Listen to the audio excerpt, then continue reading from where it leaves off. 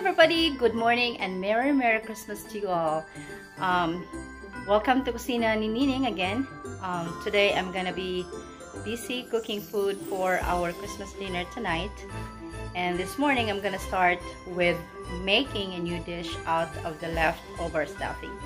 So when we had our party at work, there was quite a bit of stuffing left over. So instead of throwing it away, you know, let's just be creative and make a new dish out of it. And that's what I'm gonna be making this morning. So, alright, so come and join me and let's watch this video and how I make a new dish out of the leftover stuffing. Okay, so this is the leftover stuffing.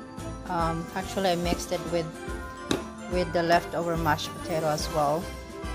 Um, and then we're gonna make this into a round ball.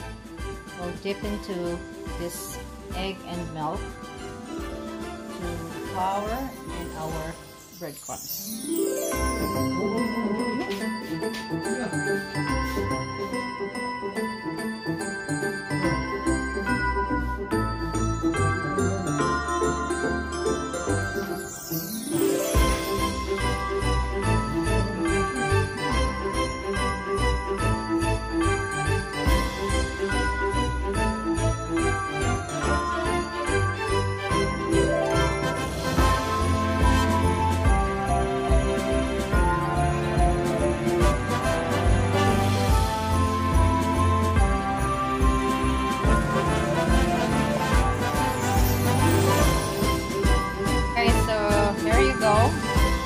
ready to be fried